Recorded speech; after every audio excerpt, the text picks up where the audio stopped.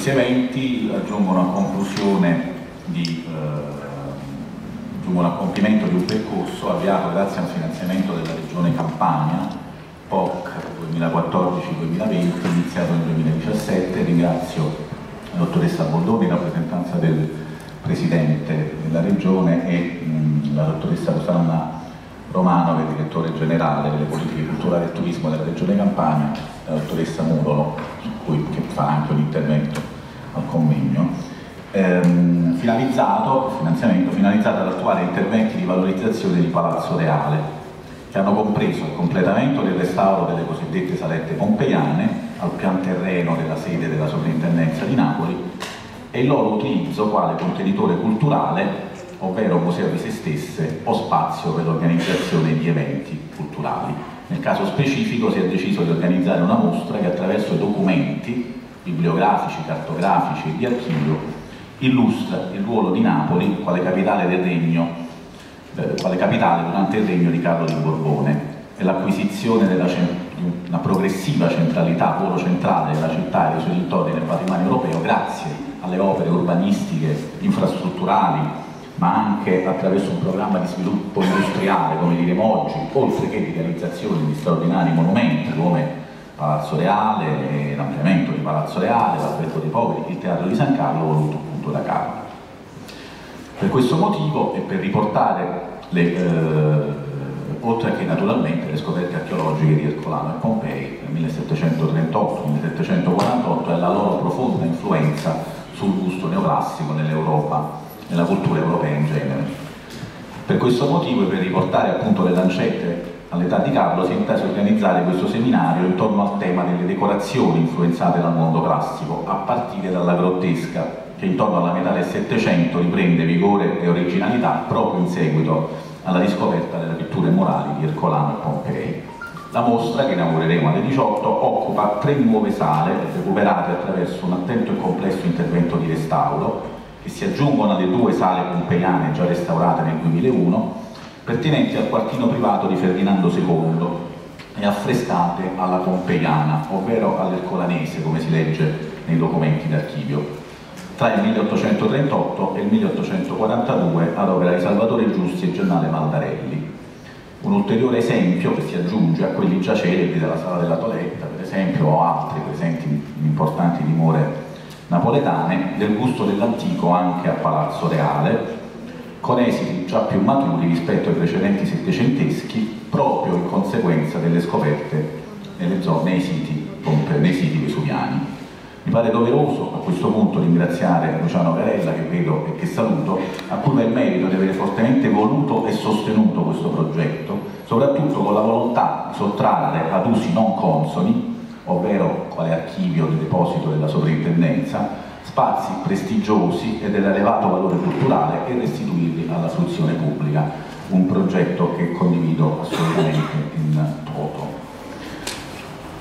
Credo che l'evento sia particolarmente importante, oltre che interessante, perché deriva da una sinergia tra enti e istituzioni culturali, la cui collaborazione concorre a valorizzare non solo il patrimonio storico-architettonico, rendendo fruibili nuovi spazi a Palazzo Reale, ma anche lo straordinario patrimonio documentale e archivistico conservato in diversi istituti culturali della città.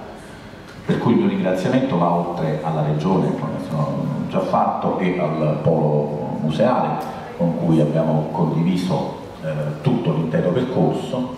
ehm, alla Biblioteca Nazionale di Napoli che ha svolto in collaborazione, che abbiamo voluto fortemente mh, presente in collaborazione, ringrazio Francesco Mercurio, l'Archivio di Stato di Napoli, la Società Napoletana di Storia Patria e il Museo Archeologico Nazionale di Napoli che ci hanno fornito importantissimi documenti che vedete in mostra. Luciano Carella e Paolo Miscili Migliorini hanno curato la progettazione e la direzione dei lavori di restauro e insieme a Massimo Visore il progetto scientifico dell'allestimento della mostra. Volevo ringraziare in particolare il personale della sovrintendenza e Raffaella Bosso e Rosa Romano, senza il cui impegno forse non sarebbe stato possibile raggiungere il risultato finale, e Glossa, in particolare Bruno Frangipani e Carlotta Fiorentino, che hanno realizzato l'allestimento e organizzato l'evento di stamattina. Vi lascio eh, al convegno e spero di grande interesse. Ovviamente ringrazio tutti i relatori che hanno accettato il nostro invito e seguiremo i lavori con, con molto interesse, ribadisco. Grazie.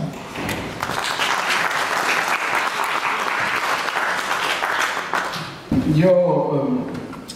sono in questa fase ehm,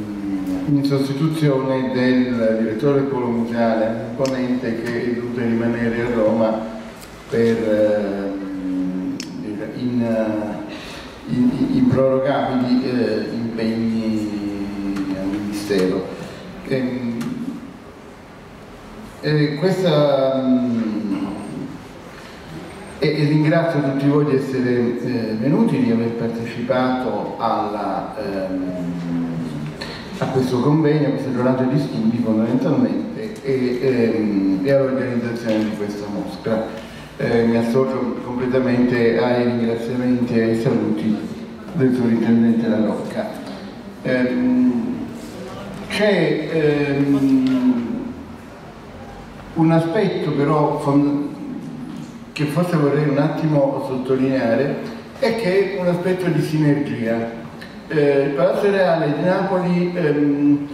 è un ricco complesso, il suo aspetto caratteristico è quello di avere all'interno eh, di tutto, c'è il Teatro San Carlo, c'è una importantissima biblioteca eh, nazionale cui che ho creduto ospita anche i fondi propri del Palazzo Reale, cioè la Palatina, eh, quindi diciamo, del, del momento della residenza reale, ci sono ben due sovrintendenze Ehm, e, e c'è ovviamente il Polo che è il um, titolare proprietario del bus. Bene, ci sono due maniere di approcciare questo rapporto complesso. Noi preferiamo come polo museale eh, la sinergia, la collaborazione e dire, la corsa a produrre sempre migliori iniziative. Ed è proprio questa cosa ehm, che eh, porta in questo momento il Palazzo Reale di Napoli ad avere ben cinque importantissime mostre in contemporanea per tutti i generi, dalle famiglie, la mostra Bud Spencer, ai palati raffinatissimi, la mostra bellissima che ha organizzato la Biblioteca Nazionale a secondo piano, quasi inaccessibile ma veramente eh, straordinaria e rarissima, eh, al contemporaneo di Nagasawa, al, um, alla mostra sulla giustizia, una mostra di dipinti seicenteschi molto bella, e adesso si chiude questo ciclo con la straordinaria mostra eh, voluta dalla sovrintendenza eh, per i beni architettonici di Napoli eh, che vedremo di pomeriggio e appunto riguarda Carrello Borbone. Grazie anche alla collaborazione. Molte di queste cose sono fatte in collaborazione con Scavec, la mostra della, della giustizia, o in collaborazione con la regione. Perché Palazzo Reale è questo, è la sede di tutta l'offerta culturale che ha voglia di prodursi in maniera, come posso dire, ehm, aperta, democratica, senza concorrenza e senza ehm, familismi. E questa è la strategia del polo museale per eh, il, ehm, una strategia di condivisione per il Palazzo Reale e credo che questo Natale, non, non a caso a Natale, cioè ci vogliamo tutti bene, dimostra la capacità di convivere di tutti i soggetti che sono eh, presenti. Ecco, questa è l'unica cosa che volevo sottolineare, non è sempre stato così, lo è stato però già da molto tempo già nel momento in cui abbiamo immaginato questa mostra con eh, l'architetto Garella questo momento della grande condivisione del palazzo era già avviata, vuol dire, è un pezzo di questo motore, questa mostra, sin da quando l'abbiamo immaginata con Garella, con cui poi abbiamo fatto anche e seguito una quantità di lavori importantissimi di restauro eh, nel palazzo in piena armonia. Bene, ehm, e con questo augurio di poter continuare anche adesso che diventa museo autonomo e questo considerate un grande successo dello staff che da anni eh, sta lavorando eh, per la centralità culturale in città eh, di questo palazzo. Ehm, credo che questo sia l'augurio per eh, il futuro. Grazie mille.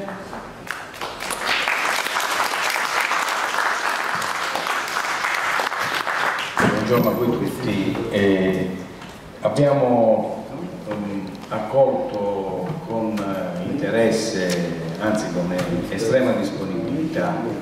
uh, l'invito che eh, ci è stato fatto di organizzare insieme in qualche modo questa mostra perché, eh, riprendendo le parole di eh, Paolo, eh, siamo convinti, e questo magari per i non addetti ai lavori, magari per i non ministeriali, eh, potrà sembrare strano, ma eh, diciamo per diverse, diverse volte i diversi organismi, istituti dell'UNAT eh, non eh, dialogano fra di loro per tante ragioni, tutte ha diverse specificità che noi abbiamo. L'idea di lavorare in modo mm, sinergico su Palazzo Reale, noi che ci viviamo e ci lavoriamo, eh, sembrava l'uovo di Colombo, è stato in qualche modo l'uovo di Colombo che ci ha consentito e ci consente di eh, realizzare e valorizzare nel modo migliore possibile questa struttura complessa ma molto simbolica e significativa, non solo per Napoli ma per dire, la sua eh, proiezione storica eh, all'interno del Mezzogiorno, all'interno dell'Europa, all'interno del Mediterraneo. E, come voi sapete la biblioteca qui ci sta da quasi un secolo e, eh, ha portato con sé una parte il nucleo fondante della, della nostra biblioteca è proprio il fondo farnese, il fondo che Carlo III portò con sé eh, in dote. E eh, intorno a questo fondo eh, si è costruito un progetto progressivo di biblioteca fra 700 e 800 estremamente importante, significativo e anche fortemente simbolico eh, soprattutto dal punto di vista identitario. Quello che noi adesso non facciamo più, non fa più, perché devo dire con grande sincerità c'è eh, molta attenzione all'aspetto effimero e immaginifico delle attività del nostro Ministero, meno forse il lavoro, dire, di bassa cucina, quello che ci sta dietro le quinte per fare funzionare eh, la complessità dei nostri istituti. Nel nostro caso nella Biblioteca Nazionale, che non riguarda solo Napoli, riguarda, eh, non vi è, devo dire con grande franchezza, una seria politica bibliotecaria nazionale. Quello che invece in qualche modo, a partire da Carlo III, in modo particolare dal suo successore e poi in modo scientificamente eh, organizzato dai francesi, eh, il significato e il ruolo della Biblioteca Nazionale era quello di essere alla raccolta dell'identità, dei, dei, degli elementi paradigmatici della cultura di un, di un popolo, di un territorio. E non a caso la Biblioteca Nazionale di Napoli raccoglie il meglio della produzione non solo editoriale ma anche manoscritta della eh,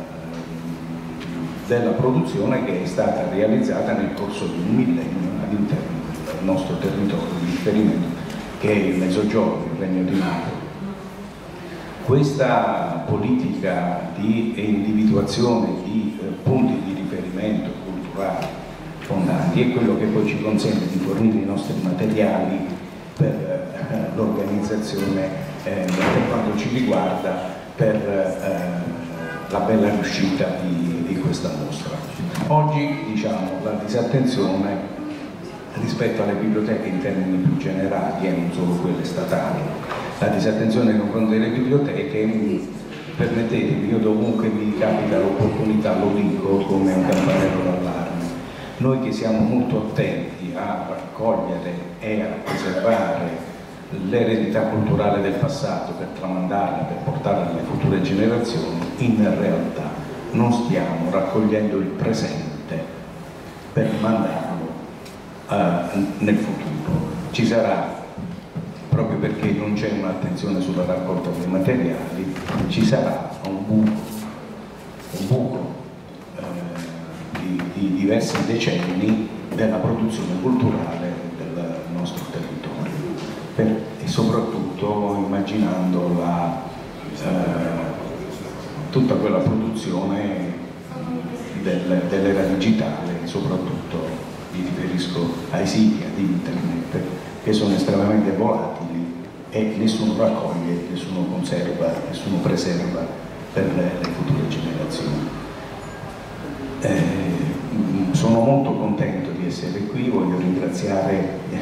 eh, il nuovo sovrintendente Luigi La Rocca, ma permettetemi davvero con grande affetto un pensiero all'architetto Carella con cui abbiamo costruito, è stato il primo con cui abbiamo cominciato a costruire un rapporto sinergico molto forte, eh, eh, di cui questo palazzo aveva bisogno, ne aveva bisogno e, e i, i, risultati, quelli che ci diceva prima Paolo, il fatto che il Palazzo Reale diventa un istituto autonomo, in modo particolare il museo del Palazzo Reale, è un risultato, permettetemi che rivendico anche io come direttore della biblioteca, perché eh, abbiamo mh, costruito tutto affinché potesse eh, andare in questo senso. È un ultimo pensiero, ma eh, non è dovuto e sono profondamente convinto è alla Regione Campania che in questi ultimi anni ha mostrato una particolare sensibilità per gli istituti culturali del Ministero, cosa che non è assolutamente scontata perché eh, eh, la Regione ha compiti sì, certamente di intervento nei beni culturali, ma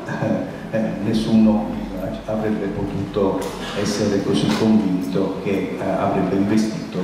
e come sta investendo e qualche risultato lo vedremo magari sicuramente nel futuro per i lavori che stiamo facendo. Perdonatemi questa lunga e poco uh, formale eh, saluto, ma eh, l'evento è importante e, e, e buono.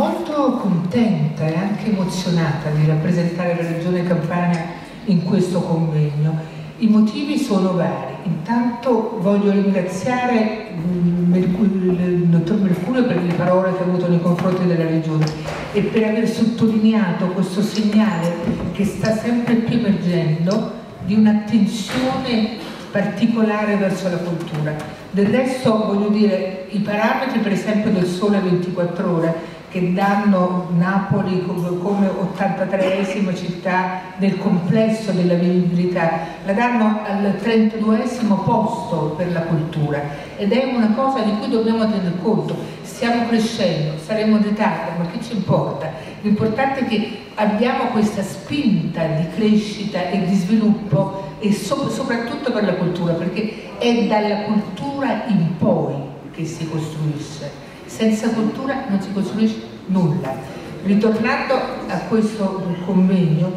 eh, mi, mi, mi, piace ricordare una, una frase di, di Anna Imponente, del direttore del Polo Museale, nel primo, eh, in un primo convegno che abbiamo fatto insieme. Lei ha detto sembrava che improvvisamente insieme alla sinergia con la cultura e con la regione, l'orologio di Palazzo Reale che non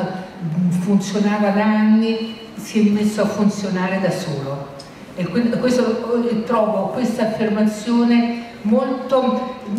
come dire, molto coinvolgente e molto emozionante per noi della Regione, perché veramente vogliamo vogliamo contribuire e ci piace pensare che Palazzo Reale sia la sede di tutti, quindi anche nostra, la sede della città, è la sede dei cittadini, è la sede della cultura. E in questo devo dire che il direttore Mascilli fa operazioni di grande apertura e di grande disponibilità. Ma adesso parliamo un attimo di Carlo. Beh, Car Carlo si sono versati fiumi di inchiostro. È, stato un sovrano illuminato, non lo è stato, è stato un, un sovrano eh, che in, qualche modo accoglieva le stanze, diciamo così, popolari della sinistra, eccetera, oppure è stato un, un sovrano che ha utilizzato una, una strategia, la propria strategia divulgativa come propaganda politica per se stesso. Non ha importanza. Il problema, secondo me, oggi a Palazzo Reale, per quello che andiamo, andremo, a vedere, andremo a vedere nella mostra, oggi è importante capire che Carlo ha lasciato un contributo, un segno ancora tangibile nella città enorme, enorme. E non parlo soltanto dei palazzi monumentali, delle, delle, delle mille cose, l'ala del Palazzo Reale, l'albergo dei poveri, eh, Piazza Dante, allora Piazza Mercatello, e mille altre cose, non è soltanto quello, è soprattutto la mentalità, la voglia di passare da una manifestazione effimera della cultura a una manifestazione più concreta, più reale e più direi monumentale. Cioè tutti questi segni sono segni della sua competenza, della sua bravura, anche se gli storici se l'hanno tramandato come un sovrano che amava andare a cavallo, andare a caccia e non aveva gran voglia di studiare, ma aveva gran voglia di governare, di governare bene, questo l'ha fatto. E questa questo attenzione nell'occasione del tricentenario della, della sua nascita è un'attenzione dovuta ed è un'attenzione che purtroppo non, non, tutti seguono e conoscono perché Carlo rappresenta una svolta per questa città e per questa regione, pensiamo alla Reggia di Caserta, Portici eccetera, rappresenta l'inizio diciamo, delle idee illuministiche, dell'affermazione pacifica delle idee illuministiche e tutto questo fa di lui il sovrano che segnato maggiormente il destino di questa regione. Il convegno, questo convegno sulle grottesche è un convegno di estremo interesse ovviamente e la collaborazione di tutti ne, ne dà il segnale. Sono molto contenta perché questa cosa, che questo convegno abbia richiamato tanti studiosi di fama internazionale perché è un convegno che merita e Palazzo Reale soprattutto merita di diventare sempre di più la nostra casa, modestamente. Grazie.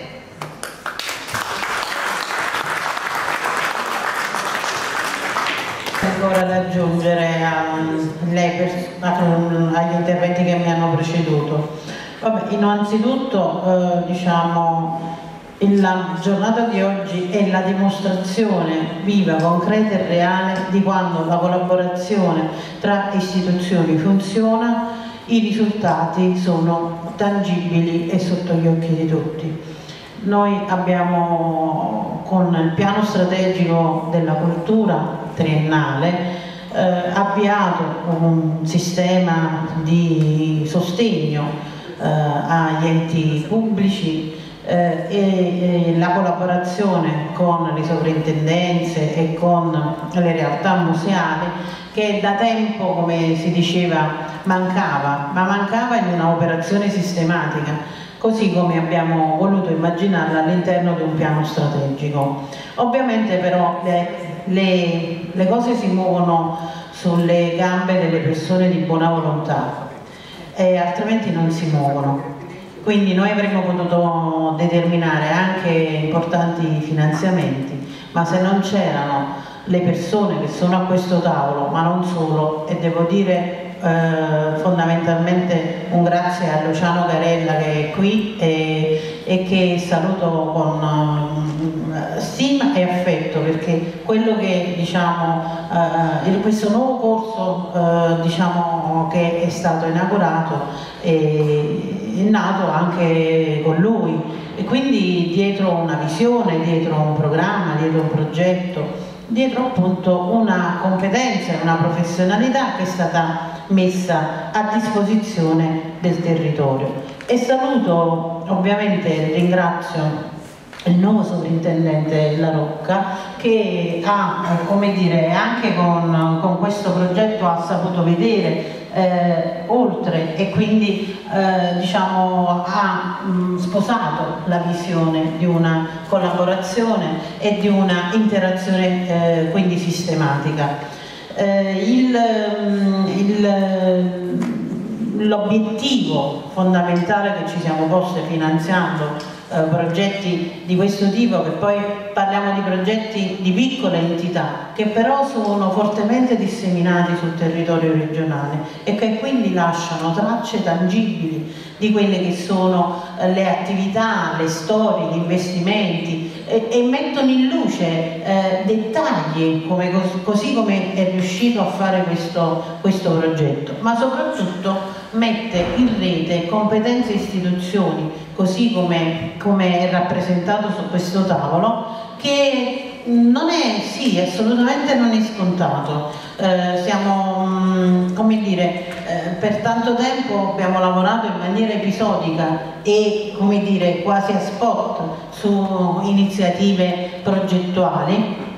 Eh, e invece adesso finalmente stiamo riuscendo a lavorare con una visione prospettica. Questo che cosa consente? Consente ovviamente di eh, recuperare spazi, luoghi, progetti e mh, storie eh, che eh, fino ad ora erano, eh, come dire, eh, un po' eh, dimenticate e soprattutto risocializzarle con il territorio. Questa risocializzazione per noi significa anche soprattutto